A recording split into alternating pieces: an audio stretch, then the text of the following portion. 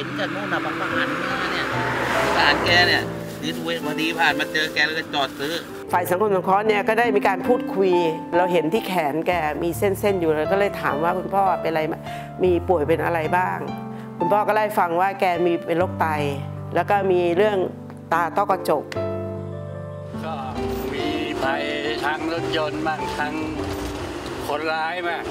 คอยจะรังแกอยู่เรื่อย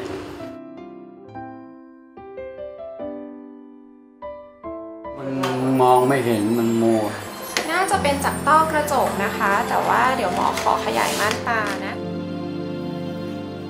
ลำพังรักษาเองก็คงไม่มีปัญญา ผมมันตายแล้วเกิดมาในมันก็คงอาจจะอยู่ในโลกมืดหรือตายไปแล้ว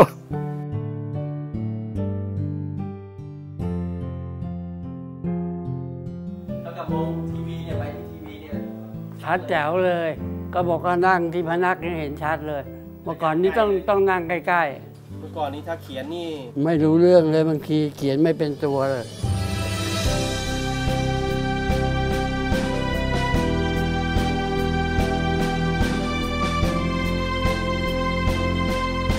อันนี้ต้นกล้วย เนี่ยกำลังออกเครือแล้วก็มีปลี